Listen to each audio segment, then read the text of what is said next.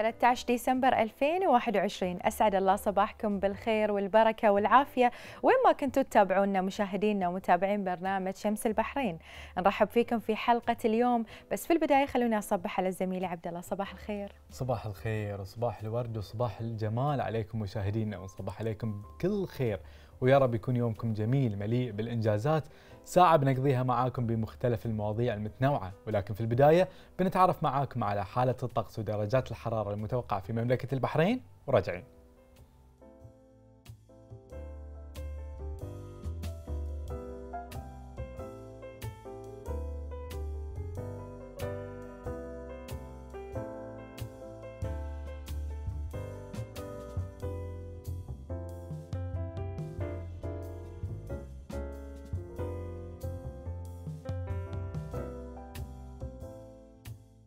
عودة لكم مشاهدينا قام مركز ناصر للتأهيل والتدريب المهني عدد من الفعاليات والأنشطة خلال شهر ديسمبر والذي يصادف أعياد البحرين الوطنية.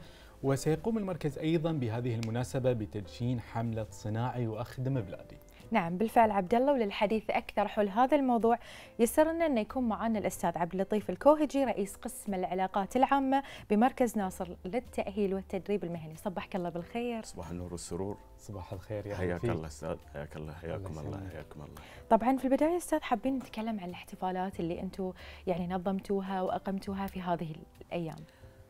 طبعا في البداية آه، أستقل هذه المناسبه لاتقدم باسم مركز ناصر للتأهيل والتدريب المهني باسماء آيات التهاني والتبريكات لمقام حضرة صاحب الجلالة الملك حمد بن عيسى الخليفة ملك البلاد المفدى وصاحب السمو الملكي الأمير سلمان بن بن حمد ال خليفه ولي العهد الأمين رئيس مجلس الوزراء ولحكومه مملكة البحرين وللشعب البحريني الكريم بهذه المناسبة العزيزة والغالية على القلب.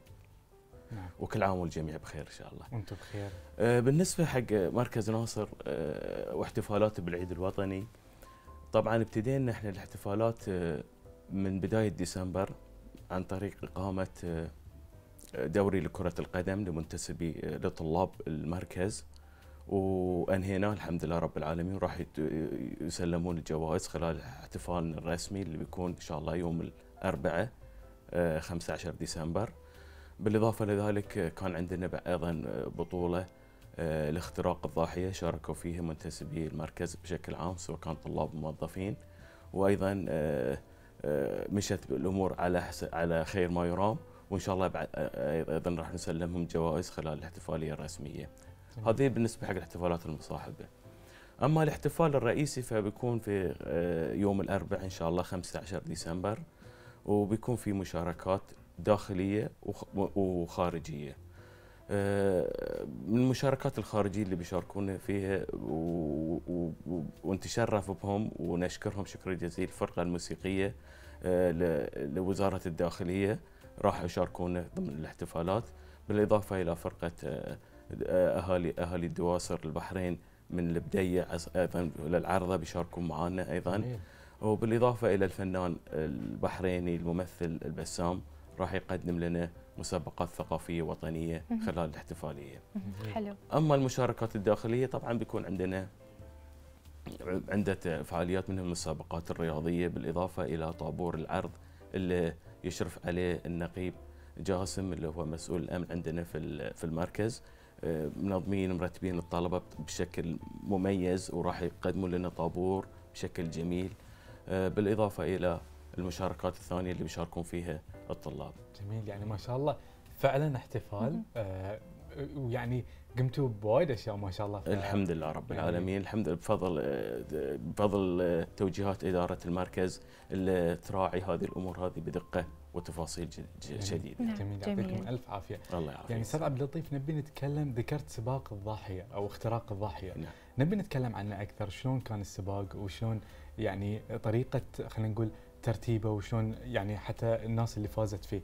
إيه بالنسبة حق سباق اختراق الضاحيه إحنا جهزنا له يعني قبل فترة عن طريق التواصل مع وزارة الداخلية المرور بالنسبة أيضا للإسعاف الوطني تعرف السباق هذه يحتاج الأمور هذه لأنه ما يكون داخل حدود المركز صح. فيطلع برا شوي فكان في تواصل مع الجهات الرسمية لهذه النقطة بالإضافة إلى ذلك ان وجهنا آه، إدارة آه، الجانب الأكاديمي في المركز ان إحنا نبي أكبر عدد مشاركة في هذه السباق هذه وبالفعل لبوا هذا الشيء بالنسبة حق المدرسين بالنسبة حق الطلاب الطلاب الطلاب تقريبا آه، ما أبالغ إذا قلت تقريبا 80 إلى 90% من طلاب المركز شاركوا في هذه السباق. ما شاء الله. والحمد لله مشت الأمور على خير ما يرام. الحمد لله رب العالمين. الحمد لله هذه أهم شيء أكيد. الحمد لله. نعم جميل. بالإضافة لذلك يعني مثل ما عرفنا أن عندكم حفلة العيد الوطني اللي راح تقام إن شاء الله. كلمنا عن تفاصيلها أكثر. الحفل راح إن شاء الله تكون يوم الأربعاء 15 ديسمبر بتبتدي من من الصباح تقريبا. الطلاب بيحضرون الحصة الأولى. بعد الحصة الأولى بيتفرغون حق الاحتفالية. الاحتفالية فيه جانبين فيه جانب الاحتفالي وفيه جانب التنافسي اللي يعني يضفي على المناسبة شيء من الحماس صح فالجانب الاحتفالي مثل ما قلت لكم شاركون معنا فيه آه، الجهات اللي قلت لكم نعم. أما الجانب التنافسي واللي هو الجانب اللي بتحدث عنه الحين آه، اختارنا السنة يصير عندنا. آه، كشك... بوثات لكل مرحلة دراسية عندنا. إحنا عندنا ثلاث مراحل مرحلة العاشر وال11 وال12 أول ثانوي ثاني ثانوي ثالث ثانوي. نعم. فسوينا لهم بوثات ثلاث بوثات. كل مرحلة مسؤول عن بوث يتنافسون فيه لإقامة معرض بحريني يتناسب مع هذه المناسبة الوطنية العزيزة على القلب. أه فهذه هذه هذه الجانب الرئيسي للاحتفالية. هم سلمناهم سلمناهم البوثات وهم يجهزونها بالطريقة اللي, اللي تناسبهم وفي لجنة تحكيم بعد ما يخلصون آه، الجولة الرسمية لمسؤولين المركز. يتم تقييم ويتم إعلان الفائز في نهاية البرنامج. الله هذه أحلى شيء يعني أتذكر هاي الأشياء كانت تصير عندنا أيام الجامعة يكون أحلى شيء والمنافسة تكون وايد قوية والكل يبي يفوز في ذي الشيء. ما في شك صح ما في شك. أستاذ عبد اللطيف نبي نتكلم عن المهرجان يعني هل بيكون مفتوح للجمهور ولا بيكون فقط مقتصر على آه، الطلبة أو حتى أهاليهم أو الكادر التعليمي؟ إحنا في مركز ناصر الله يسلمك نراعي الجانبين. آه، الجانب الأول هو الجانب الداخلي نعم. والجانب الآخر هو الجانب المجتمع الخارجي. الفعالية هذه بتكون فقط لمنتسبي مركز ناصر. ولكن ولكن نوعد شعب البحرين بشكل عام إن عندنا مناسبة آه، راح تكون قريبا في يناير وراح تكون مفتوحة للجميع. الله. فمناسبتنا هذه الاحتفالية هذه بتكون فقط لمنتسبي. جميل. مركز العنصر جميل. حلو. يعني آه، أستاذ آه، إلى أي مدى تشوف أن تعزيز الهوية الوطنية وخلينا نقول هذا الانتماء في روح خلينا نقول الطلبة أو المشاركين أو الناس اللي موجودين؟ إحنا في مركز ناصر أعزائي طبعا هذا الشيء هدف رئيسي عندنا. لذلك في مركز ناصر عندنا غرس الولاء والوطنية من بدايه من بداية حتى قبل دخول الطالب إلى إلى إلى مركز ناصر. نعم. لذلك إحنا عندنا من شروط القبول عندنا في مركز ناصر المقابلة الشخصية. المقابلة الشخصية هي اللي تحدد هذا الشيء. فإحنا نسعى لهذا الشيء ونركز عليه في جميع مراحل الدراسة في مركز ناصر سواء كان المرحلة العاشرة أو الأول ثانوي والثاني ثانوي والثالث ثانوي. يتخرج عندنا خريج مركز ناصر نضمن الجانب الوطني والولائي. جميل. إحنا نبي نتكلم عن حملة صناعي واخدم بلدي. يعني بتم تدشين هذه الحملة نبي نتكلم عنها بشكل أوسع. أه حملة طموحة تتوائم مع توجهات الحكومة. طبعا أه حملة صناعي واخدم بلادي هي حملة تهدف إلى توعية المجتمع بشكل عام وأولياء الأمور بشكل خاص بأهمية التعليم الصناعي. نعم. للمستقبل كل دولة طموحة تركز على هذا الجانب. خلاص صار في تشبع بالنسبة حق الدراسات الإنسانية والدراسات النظرية. نعم. آه، فأي دولة طموحة يجب أن تؤهل آه، مواطنيها وخصوصا مخرجات الدراسة الثانوية على أساس التعليم الفني والمهني. فهذه الهدف الأساسي من هذه ال- ال- الحمله اللي راح نطلقها ونتمنى إن الكل يدعمنا فيها وإحنا راح نبتديها إن شاء الله مع بداية العام الجديد بإذن الله. بإذن الله. حلو آه خلينا نتكلم أكثر عن الداعمين خلينا نقول الداعمين لكم اللي تحس إن هم دائما في الصفوف الأمامية داعمين لكل الجهود اللي أنتم تقدمونها طبعا الداعم الأول جلالة الملك الله يحفظه. طول في عمره وما ننسى سمو الشيخ ناصر. سمو الشيخ ناصر رئيس مجلس أمناء المركز وهو يعني آه، حاط المركز ضمن الرادار ماله وتوجهاته نطبقها آه، بالطريقة اللي, اللي اللي نتمنى ترضيه إن شاء الله. الله. فهو هو الداعم بعد جلاله الملك هو الداعم الثاني لنا. طبعا إحنا في مركز ناصر طبعا علاقاتنا مع الشركات الصناعيه في البحرين المصانع والشركات الصناعيه مع الشركات مع شركات آه، الاتصالات مع الجامعات سواء كان الجامعات الوطنية والجامعات الخاصة آه، آه، اتفاقيات مشتركة موقعين معاهم في هذه الأمور هذه وذلك لتأهيل الطالب ال- خريج مركز ناصر بما يتناسب مع متطلبات هذه الشركات. نعم. ففي في في في دعم كبير آه، لمركز ناصر من قبل هذه المؤسسات. جميل. حلو. أستاذ عبد اللطيف يعني هل من كلمة أخيرة حاب توجهها في نهاية لقائنا اليوم؟ آه، في ال- في النهاية أحب أشكركم شكر جزيل. وأتمنى من الجمهور آه، إن يترقبون آه، نشاطات مركز ناصر، مركز ناصر مركز فتي، مركز آه، طموح. وأتمنى ونتمنى أن نكون عند حسن الظن.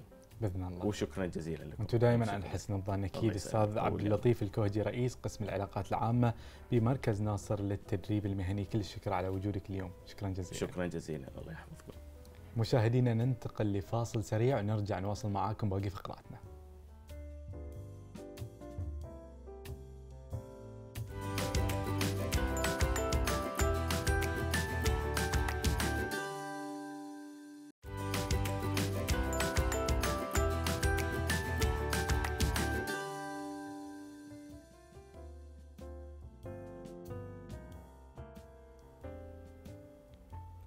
بمناسبة احتفالات مملكة البحرين بالعيد الوطني أقامت الجامعة الخليجية حفلا وبمرور 20 عاما على تأسيس الجامعة تحت رعاية الأمين العام لمجلس التعليم العالي الدكتورة الشيخة رنا بنت عيسى بن دعيج آل خليفة وبحضور الكادر التعليمي وطلبة الجامعة المزيد في التقرير التالي.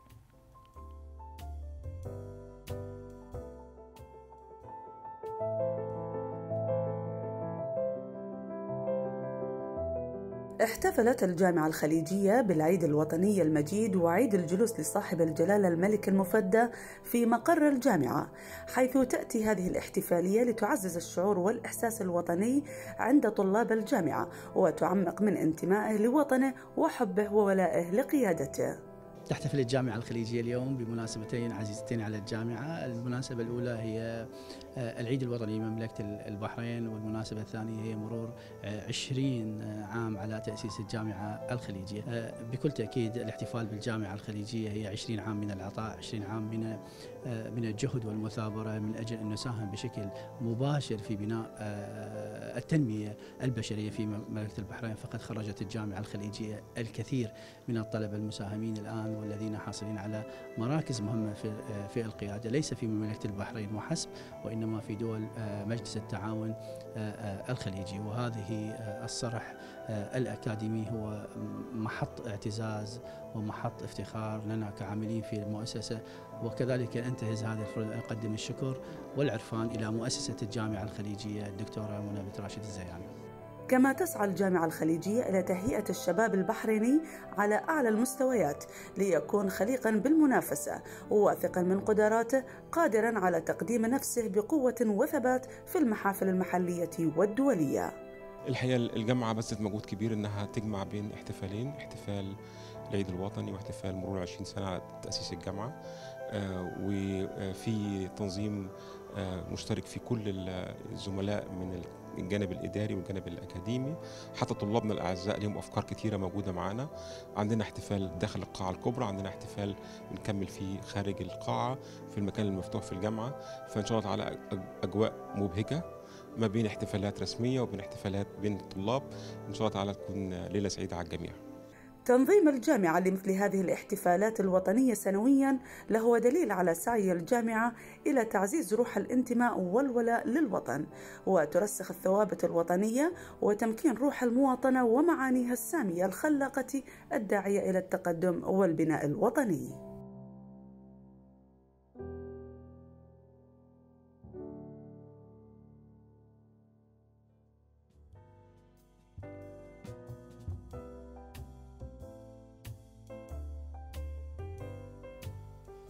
طلبة مملكة البحرين دائما مبدعين في كل المجالات وعندهم مهارات عالية في كل مجال واليوم معانا طالب قدر أنه يكون نموذج يحتذى به على نطاق مدارس البحرين بسبب مهاراته العالية وتميزه في المواد الدراسية. نعم بالفعل عبد الله وهو نموذج للطالب المثابر والمتميز في في مملكة البحرين ويعتبر من الطلبة اللي قادرين على تحقيق الطموحات والإنجازات في مختلف الظروف. ضيفنا اليوم فوق أنه متميز يعشق الأنشطة الفنية ويحب عالم الأرقام ومادة الرياضيات. يسعدنا اليوم يكون معنا الطالب علي محمد من مدرسة علي الابتدائية للبنين. صباح الخير علي. صباح الخير علي، صباح النور شلونك؟ شخبارك؟ زين شلون كان الصبح اليوم؟ OK شنو تريقت؟ ما كلت شي عفا بناكل عقب الهواء أنا وياك، تمام؟ علي أنت تحب الرياضيات صح؟ إيه ليش تحب الرياضيات؟ شنو السبب اللي خلاك تحب؟ سهل شلون سهل؟ ناس تقول وايد صعب، أنا عندي سهل ليش سهل؟ ليش؟ شنو الشيء اللي يخليك تحس ان الرياضيات سهل؟ الأرقام. تحب الأرقام؟ إيه. شنو تحب في الأرقام؟ قول لنا. كل الأرقام. جميل، زين تعرف تعد من واحد لعشرة؟ إيه. نعد وياك؟ أعرف أنا بروحي يلا. قول لنا الحين. واحد اثنين ثلاثة أربعة خمس ست سبع ثمان تسع عشر. جميل. شاطر شاطر. شاطر. يعني علي أنت بعد تحب الأرقام وعندك أشياء تسوي أعمال يدوية تحب تصنع أشياء جديدة؟ إيه. يعني شنو سويت؟ قول لنا. بالصبغ ألون. الله. شنو آخر شيء لونته؟ ما أدري. نسيت. إيه. زين شنو الألوان اللي تحبها؟ كل الألوان. أحلى لون عندك شنو؟ أبي بس تقولي لون واحد. أكيد اللون الأحمر. لا. أخضر. أصفر. حلو. أصفر؟ إيه. ليش تحب الأصفر؟ إيه. دلال بعد تحب اللون الأصفر. أنا وايد أحب اللون الأصفر. وعلي أبيك تقول لي أنت شنو سويت؟ شنو شنو ابتكرت من الأعمال اليدوية؟ كل شيء أسوي أنا. مثل شنو؟ شنو سويت؟ قول لي بالصبغ. جميل. علي في المدرسة آه كل شيء تمام ولا تحس بصعوبات؟ أوكي. من المدرسين اللي تحبهم؟ كل المدرسين. كلهم؟ إيه. بس أنت قلت لي إنك تحب العلوم والرياضيات أكثر شيء. إيه. ليش العلوم؟ انه سهل بعد. بعد سهل؟ إيه. أنا أحس إن أنا مو شاطر في العلوم. بتدرسني؟ لا أنا بس أعرف موظف ثاني. زين أنا بعد في الصف الثاني. علي قول لنا عن أصدقائك. قول لنا عن أصدقائك في المدرسة. عندك أصدقاء؟ واجد مم، ما أقدر و- أقول. وأنت أشطر واحد فيهم؟ إيه. شلون صرت شاطر؟ من يدرسك في البيت؟ ما حد. بروحك؟ لا أنا ما ادرس في البيت. ها وين تدرس؟ كله في المدرسة. كله في شاطر المدرسة وكله ويا أصدقائك صح؟ إيه. وايد حلو علي. إنزين علي الحين أنت إذا كبرت شنو مفكر تصير؟ شنو تبي تصير؟ معلم رياضيات وعلوم. يعني جاهز إنك تدرسني؟ ولا مو جاهز؟ أنا وعلم رياضيات وعلوم بصير ولازم تقول لنا أنت لما بتكبر شنو تبي تصير؟ بس بس تبي تصير مدرس علوم أو رياضيات؟ إيه. ما تبي تصير دكتور؟ لا. ليش؟ حلو دكتور. علي أنت وايد أسعدتنا وإحنا كنا وايد سعيدين بوجودك اليوم معنا شكرا لك. هذه كان علي أحد الطلبة الموهوبين في مملكة البحرين. كل كل الشكر على وجوده وطبعا ناخذ فاصل وراجعين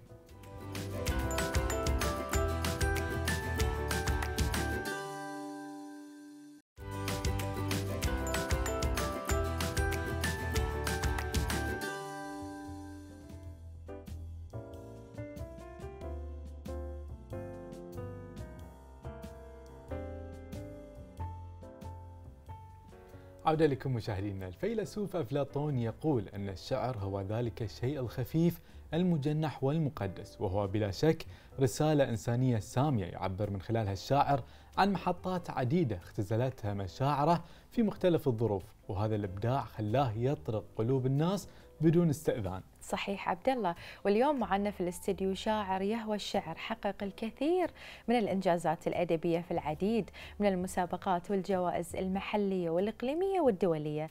الشاعر ناصر زين اللي رفع رأس البحرين بتميزه في كتابة القصائد. اليوم هو معنا في استديو شمس البحرين. صباح الخير. صباح النور والسرور. صباحك خير يا رب. صباح المحبة. الله يسلمك. في البداية إحنا طبعا لازم نبتدي بالأشياء اللي إحنا جدا فخورين فيها. يعني حصدت العديد من الجوائز تبارك الرحمن. أه نبي نعرف شنو أكثر جائزة لها يعني خلينا نقول مكانة جدا عزيزة في قلبك. كثير من الجوائز الحمد لله حققناها بمراكز متقدمة سواء على المستوى المحلي أو الإقليمي أو الدولي. نعم. ربما جائزة آه، الشيخ راشد بن حميد للثقافة والعلوم في دولة الإمارات كان لها أثر مؤخرا. جائزة الجود العالمية في العراق كذلك جائزة رئة الوحي مؤخرا. آه، في المملكة العربية السعودية ولا أنسى جائزة آه، آه، الإبداع الأدبي في المملكة المغربية أيضا. فهناك عدة جوائز الحمد لله كانت كلها آه، حققنا فيها المركز الأول الحمد لله رب نعم. لك الحمد نعم. بس لو نقول لك اختار جائزة واحدة منهم تكون جدا قريبة من قلبك شنو ممكن تختار؟ جائزة الجود العالمية في العراق كون العراق أرض الشعراء فنحن هناك ننافس شعراء شعراء صح. فبالتالي آه، العراق له طعم مختلف. جميل. نعم جميل. طبعا آه، مثل ما نعرف أن القصائد دائما لها تأثير آه، قوي على على القلوب خاصة إذا كانت من البدايات. فكلمنا عن أول قصيدة كتبتها في حياتك. ربما كان ذلك قبل 25 سنة يعني العمر مضى لا أتذكر حقيقة لكن أكثر الأشعار التي كتبتها في ذاك الوقت كان كانت ملحنة الإنشاد. نعم. فربما أتذكر بيت ليس على وزن صحيح في ذاك الوقت. اليوم إحنا ندرس علم العروض فالأوزان لدي صحيحة صح. كلها بس في ذاك الوقت ربما قلت آه، جاء آه، جاء الحب سهما للقلب اخترق كأن القلوب صارت من ورق. ط- يعني طفل صغير كنت في ذاك جميل. الوقت. جميل. ما شاء الله يعني لليوم قاعد تتذكر الأبيات. إي نعم هو البدايات كانت صح. البدايات جميلة لا شك يعني. فعلا. رغم تطور التجربة بطبيعة الحال يعني. فعلا. بس طبعا مثل ما يقولون إنه دائما الواحد يعني يدخل المجال وتكون عنده قاعدة قوية. آه، لا شك. البيئة آه، اللي يعيش فيها الإنسان تغذيه يقال أن الشاعر ابن بيئته. نعم. فأنا ولدت في بيئة وأسرة كذلك. فيها الكثير من الشعراء والمثقفين. نعم. فبالتالي هذا الجانب واحتكاكي مع آه، كثير من الشعراء والأدباء غذى الموهبة بطبيعة الحال. آه، ودخولي حقل الإعلام آه، منذ 16 عام يعني نعم. ساهم كذلك في تغذية الموهبة أكثر وأكثر. نعم. من شوي ذكرت التطور. نبي نتكلم عن التطور يمكن من أول قصيدة لليوم. شنو التطور اللي خلينا نقول الملحوظ اللي أنت قاعد تشوفه؟ تطور اللغة. اللغة هي كائن حي. كائن حي يتطور وي- وينمو. آه، كثرة القراءات كثرة قراءتي إلى الشعر ومختلف الحقول. أنا نهم في القراءة جدا. جميل. آه، ودخولي الحقل الإعلامي مثل ما ذكرت ساهم بشكل أو بآخر في تطور التجربة. آه، كنت ربما أكتب بشكل كلاسيكي اليوم أكتب بشكل بلغة حداثية أكثر.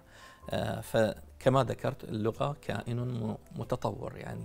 صح. نعم. جميل. بالإضافة لذلك يعني إحنا نشوف أن كل كاتب أو شاعر أو فنان عنده طقوس معينة يبتديها يا قبل الكتابة أو يهيئ نفسه آه، خلينا نقول حق الكتابة أو حق الفكرة. فأنت شلون تقدر ممكن تتحكم في إلهامك؟ يدعي الكثير من الشعراء أن القهوة هي من ضمن طقوسهم نعم. ال- الإبداعية. نعم. ربما أنا ليس لدي طقوس معينة ربما يأتيني إلهام وأكتبه في الهاتف.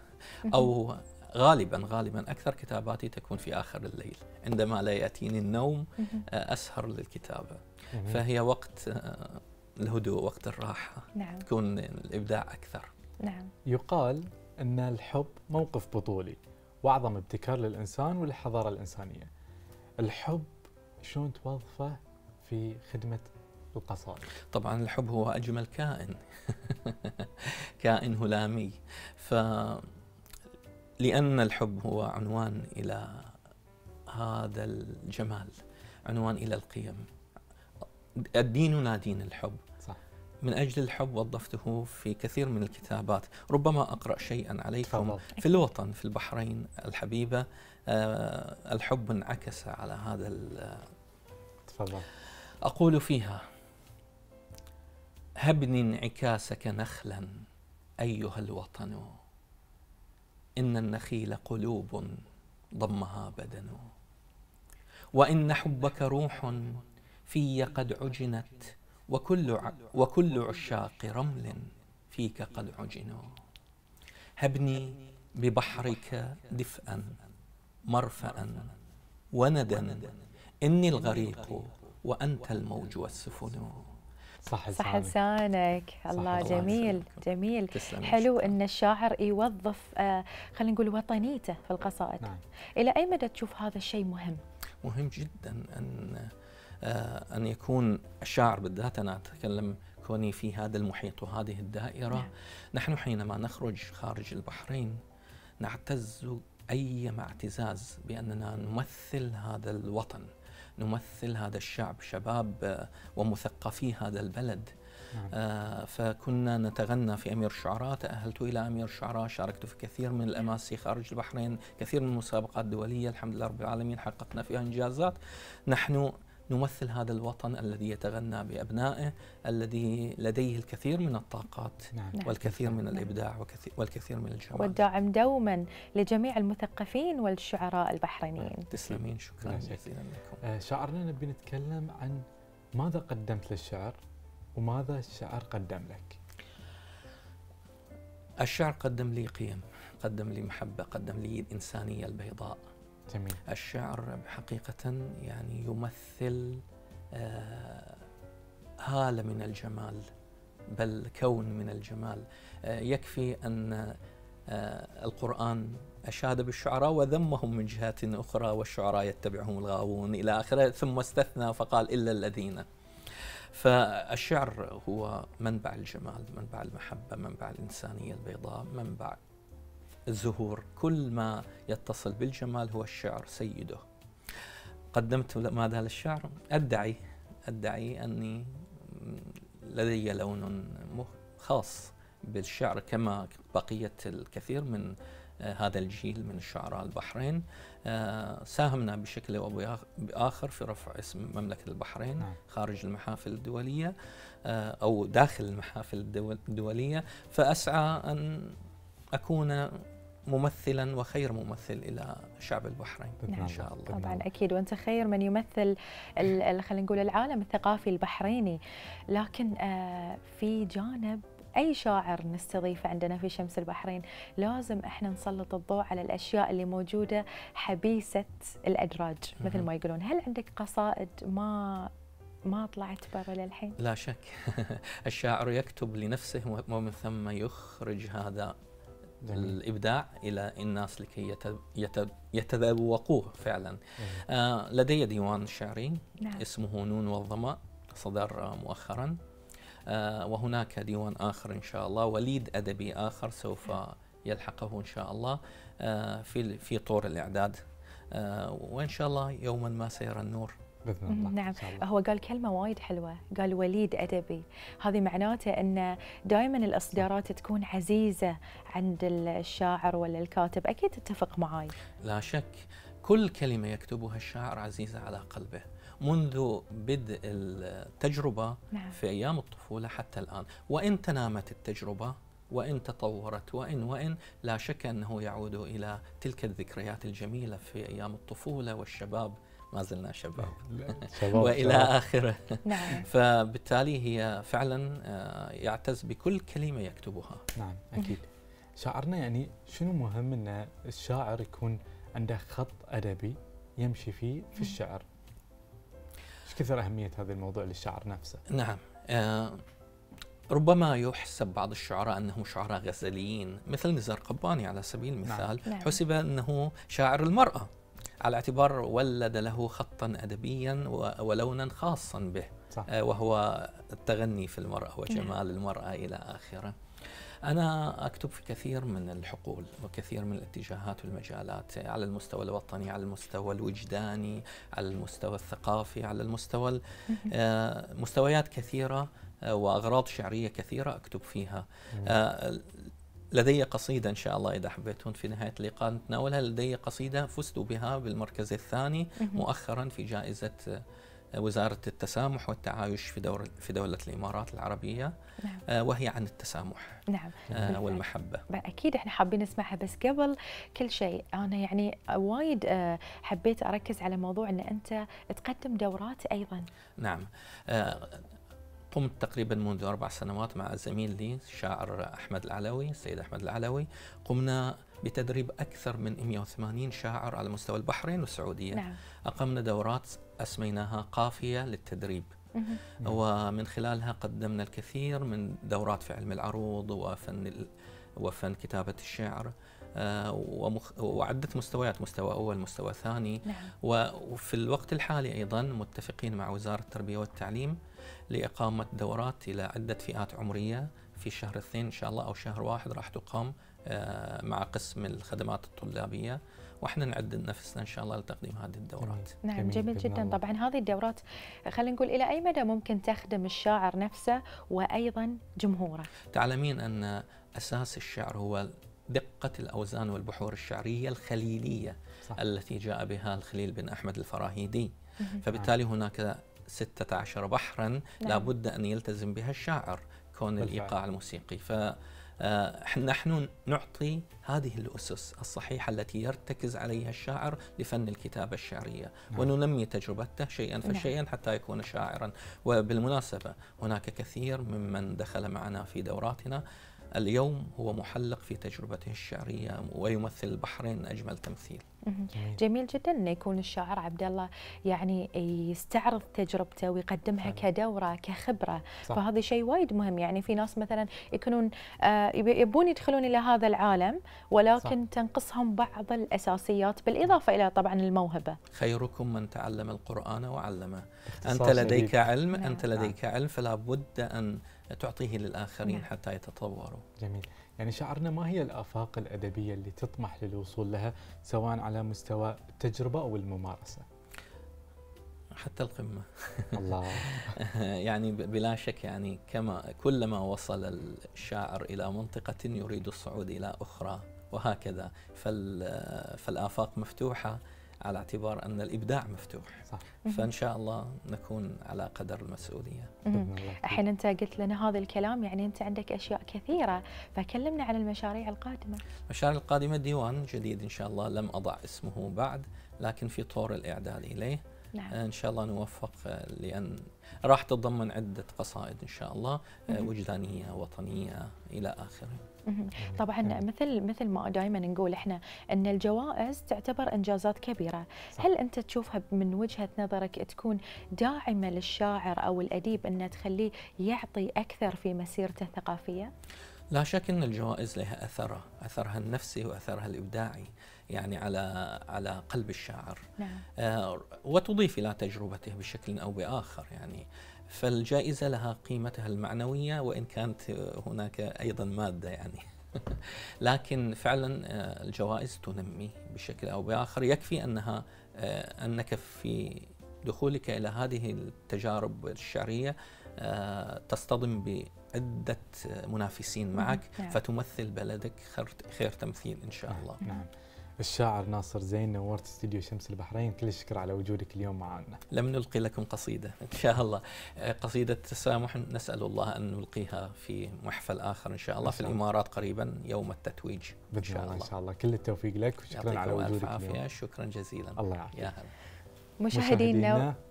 عبد الله عبد الله يبي يختم. لا هالمرة أنا اللي بختم. مشاهدينا وصلنا لنهاية حلقتنا اليوم. بإمكانكم متابعة هذه الحلقة بالإضافة للبث المباشر. وباقي البرامج اللي تقدمها قنوات وإذاعة تلفزيون البحرين عبر التطبيقات الموجودة أسفل الشاشة. يتجدد اللقاء معاكم بكرة في نفس الوقت. مع السلامة. مع السلامة.